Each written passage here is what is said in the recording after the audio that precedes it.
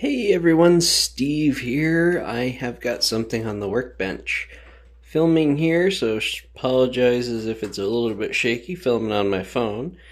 I have got a crazy build here, as you can see. Have you ever seen Boylei Hobby Time? He's got this wonderful series called The Weird Wild West. And I thought, what would be cool if there was a giant ass digger just somewhere in the weird wild west just sitting around. Now, if Boylei wants to collaborate, I am totally fine with that. Reach out, leave me a message. Um, otherwise, this is just kind of a weird one off project. Um, as you can see, it is a freaking large drag line. I've been working for a while on this thing here.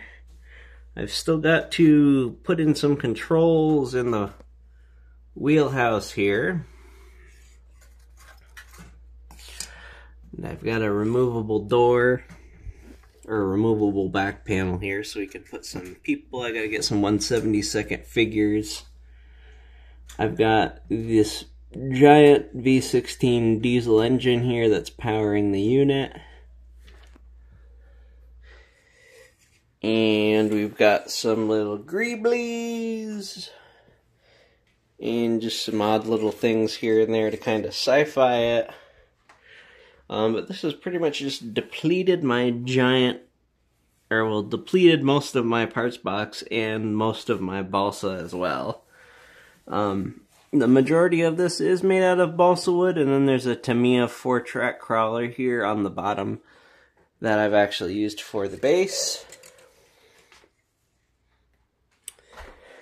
But yeah, that is the giant dragline crane. I haven't really thought of a name yet. I've thought of maybe Colossus or Igor or something like that. Maybe Big Bertha. I don't know. If you've got a suggestion on a name, go ahead and uh, put that down below. We'll go ahead and... I have left some of this a little bit workable so I can play with the bucket positions and such.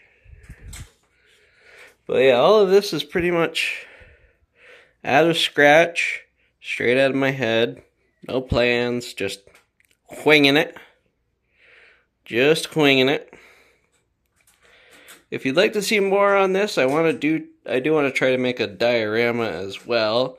And obviously I've got to get some figures and some other stuff, but this will be one of those back burner projects I come to here and there just when I'm bored and need something different to work on. But uh, thank you for tuning in. Like, comment, subscribe. Uh, put some suggestions down below if you have any ideas for this freaking big old dragline. Thank you and have a wonderful evening, everyone.